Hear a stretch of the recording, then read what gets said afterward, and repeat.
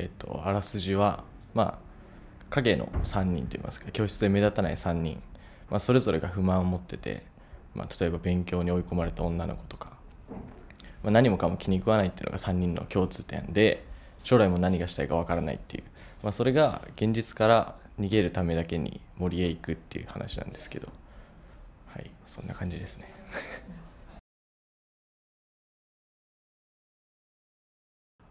もともと原案は別にあって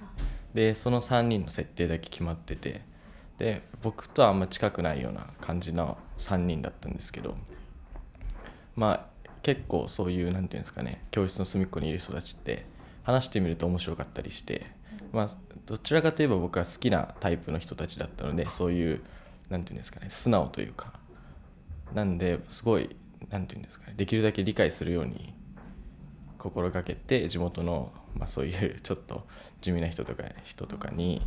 突然連絡したりとかしました。脚本はもともとさっき言ったように原案が別にあってで全く別の話というか主人公の3人だけ残して今の森の輪になったんですけどまあその一回その企画がポシャったっていうのはなんかまあ揉めたと言いますかいろいろ揉めまくってで卒業制作なんですけどもうお前ら映画撮んなくていいぐらいな感じまで言われて周りから。で、まあ、そこで一回全部自分たちの溜まってたなんか負のオーラといいますか海みたいなものを全部出して心機一転して、まあ、こういう陰湿な作品を作ったんですけどでまあその時に書く時に、まあ、僕も僕自身が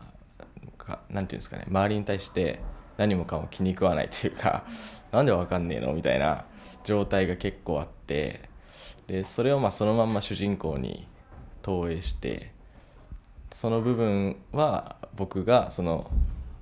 3人の中で何もかも気に食わないっていうの部分だけは投影して書いていきましたね。で何て言うんですか本当はシナリオは毎回叩かれていくんですけどその講師の人たちが来てこんなん全然ダメだみたいなやっていくんですけど僕らが一回ポシャった時期がもう完全にその夏休みに入ってて授業なくて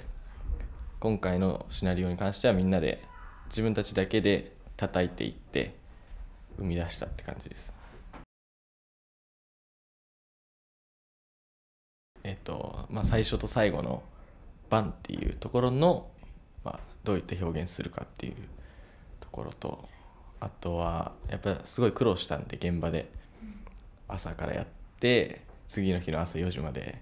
寝ずにやったりとか。でまあそういう苦労した部分は自分でもにじみ出てるんじゃないかなっていうやけくそな思いが詰まった映画なので、まあ、大変だったろうなっていう目でも見ていただきたいですね。はい。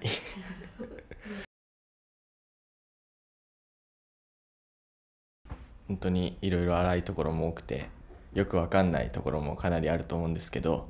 まあ最後まで寝ずに見てくれれば僕は本当に幸せなのでお願いします。